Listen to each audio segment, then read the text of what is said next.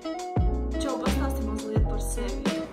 Es esmu Evija Gasparoviča, 4. kursa izglītojumā, un es mācos par klientu apkalpošanas speciālistu. Kāpēc tu izdomāji mācīties Valdos tehnikumā? Uh, Pirmkārt, pats pirmais iemesls bija tāds, ka šeit var iegūt gan vidusskolas izglītību, gan arī profesiju. Kā izvēlējies savu profesiju? Skatoties uz to, ka man jau iepriekš ir paticis strādāt ar cilvēkiem un komunicēt, es padomāju, kāpēc gan neatnākt uz šo skolu un nepamēģināt.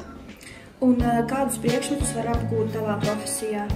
Tie ir visi ierastie mācību priekšmeti, piemēram, matemātika, latviešu valoda un tā tālāk, bet ir arī profesionālie priekšmeti, piemēram, runas kultūra, dokumentu pārvaldība, grāmatvedība, datormācība, lietišķā angļu valoda, lietišķā vācu valoda un arī dokumentu pārvaldība.